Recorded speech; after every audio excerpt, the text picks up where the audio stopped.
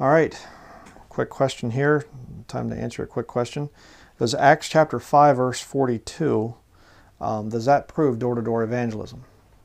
Okay, I had a brother ask me this. It's a good question, the way he, he phrased it.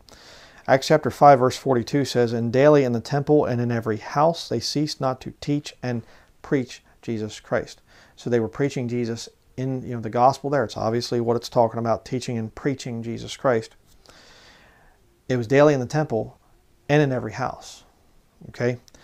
So with that obviously it's not talking about the thing of going out and inviting people to church and we like to invite you to church this week. We have you know couples week or something like this. No no no. It's not doing that. But the point is were they actually going and knocking on doors and preaching jesus christ preaching the gospel? And the answer to that is no. What's going on here?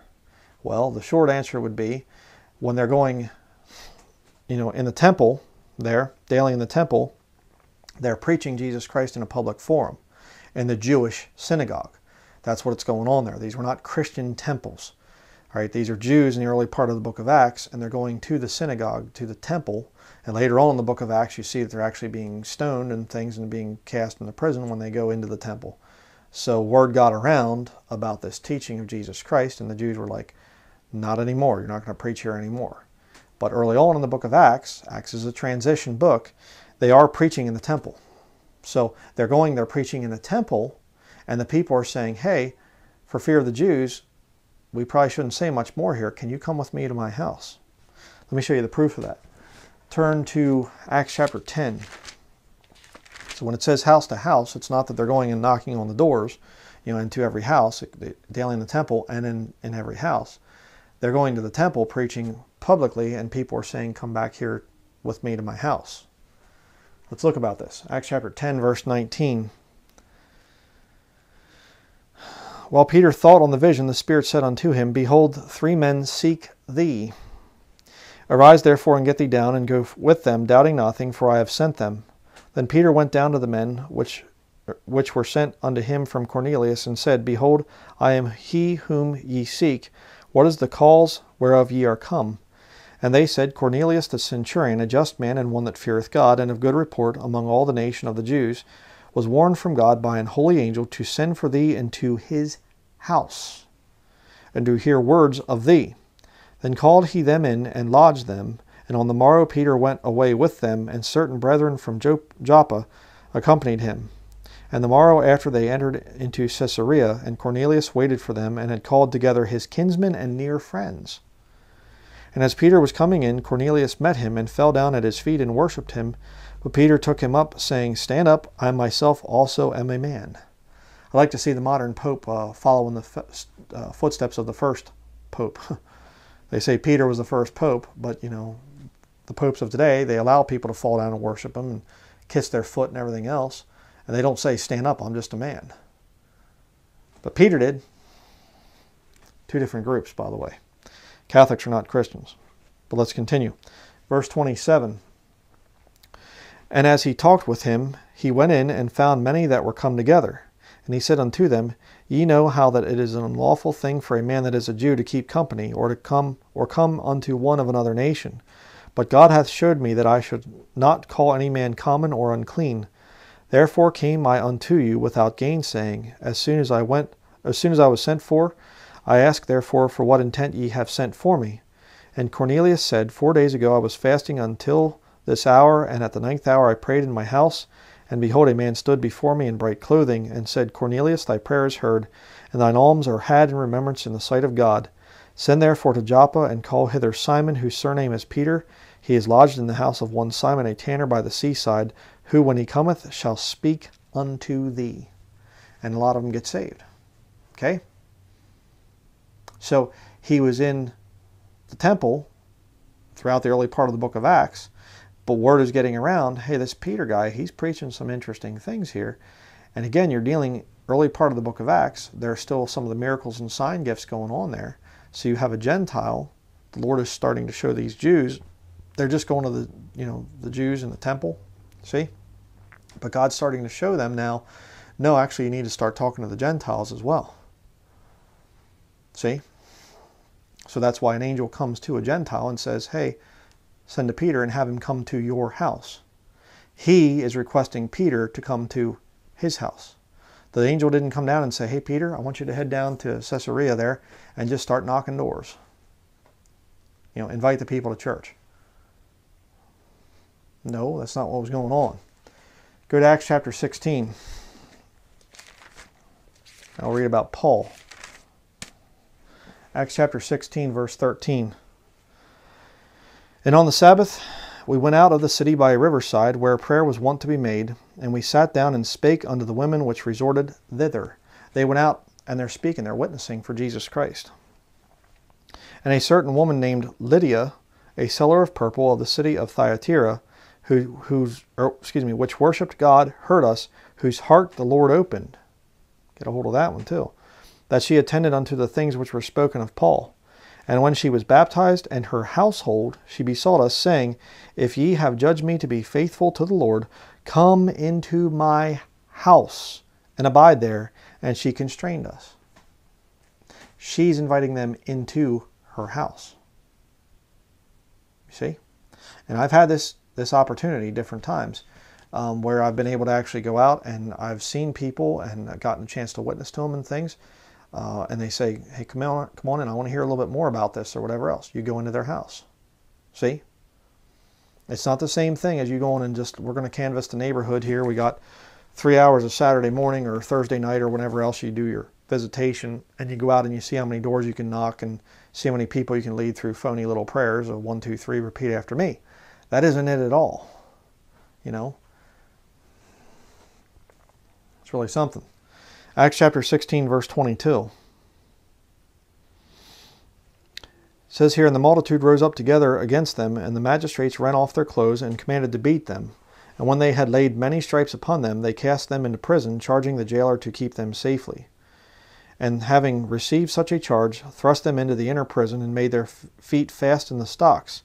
And at midnight Paul and Silas prayed and sang praises unto God, and the prisoners heard them. And suddenly there was a great earthquake, so, so that the foundations of, of the prison were shaken, and immediately all the doors were opened, and everyone's bands were loosed. And the keeper of the prison, awaking out of his sleep, and seeing the prison doors open, he drew out his sword and would have killed himself, supposing that the prisoners had been fled. But Paul cried with a loud voice, saying, Do thyself no harm, for we are all here. Then he called for a light and sprang in and came trembling, and fell down before Paul and Silas and brought them out and said, Sirs, what must I do to be saved? And they said, Believe on the Lord Jesus Christ, and thou shalt be saved, and thy house. Hmm. And they spake unto him the word of the Lord, unto all that were in his house. You see it? And he took them the same hour of the night, and washed their stripes, and was baptized, he and all his straightway. And when he had brought them into his house, he set meat before them and rejoiced, believing in, how, in God with all his house. You see it there. And when it was day, the magistrates sent the sergeants, saying, Let those men go. And the keeper of the prison told this, saying to Paul, The magistrates have sent to let you go. Now therefore depart and go in peace. But Paul said unto them, They have beaten us openly, uncondemned, being Romans, and have cast us into prison. And now do they thrust us out privily? Nay, verily, but let them come themselves and fetch us out. And the sergeants told these words unto the magistrates, and they feared when they heard that they were Romans. And they came and besought them, and brought them out, and desired them to depart out of the city. And they went out of the prison, and entered into the house of Lydia. And when they had seen the brethren, they comforted them and departed. Okay? So, the answer to the question there is what is this thing about daily in the temple and in every house they ceased not to teach and preach Jesus Christ. Well, think about it. Preaching Jesus Christ is the gospel. What about teaching? They're teaching people about Jesus Christ. See, it wasn't like modern times here where you come and you invite people to church, knock on their door, and they come to the church and or come to the door and they say, "He would like to come to our church. Here's a here's a brochure or a pamphlet or you know, and you do your little your little uh, spiel, and the person's going, okay, I'm just going to do whatever they say here because I want to just get out of this thing and whatever, and whatever I got to do to get them off my porch. Oh yeah, yeah, yeah, no, sure, yeah, I'll show up at your house, and I, I got to pray this prayer, okay, I'll, you know, they pray the prayer and stuff like this. See, it's not the same thing. It's what was being mentioned in the book of Acts, chapter five, verse forty-two. There, that we talked about earlier. All right. What was happening there is completely different than from our modern day door to door evangelism thing. And in the New Testament, what you're going to see is they're preaching out in public places, and the people are oftentimes saying, Hey, I'd like to know more about this. Could you come with me? I'll show you one other example here before we close this little short study. Acts chapter 17, verse 32 through 34. Paul is preaching in a open place with all these pagan philosophers and things standing around there um, in Mars Hill. Kind of funny because the next town up that way, north of us, is called Mars Hill. I'm not joking. But uh, it says here, Acts chapter 17, verse 32.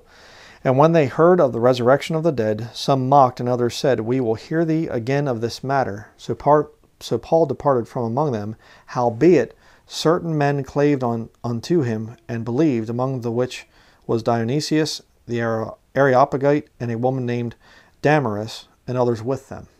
Okay? Now, it doesn't say that they went back to their home, but the whole point is this is how ministry is supposed to work.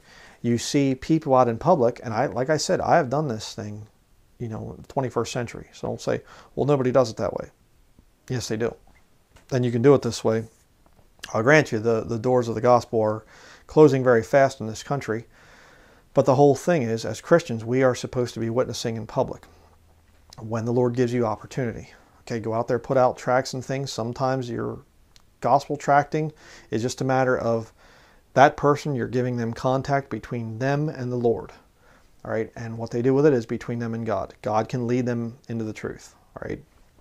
Um, but if you get into a situation where you actually talk to somebody and they say, I'd like to talk to you more about this, please, could you come back, you know, to my house or whatever else? I mean, be careful that they're not some weirdo or whatever. I mean, if you can tell somebody's really fervently wanting to know about the Lord, certainly go spend some time with that person. Uh, it's a really neat time of fellowship you'll have there, um, you know, if they get saved and things. And preach Jesus Christ to them, but also teach them about what the Bible says. And, you know, again, I've done this thing with people and I, you know, met with people and, hey, do you need a Bible? Uh, can I give you some Christian music to listen to? Can I do this or can I do that?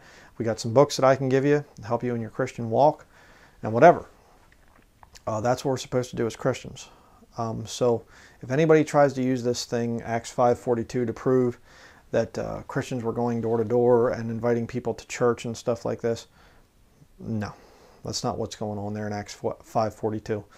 Um, it's the people were they were preaching and teaching you know Jesus Christ in the temple, and then for those who wanted to hear, they were saying, "Could you come with us to our house?"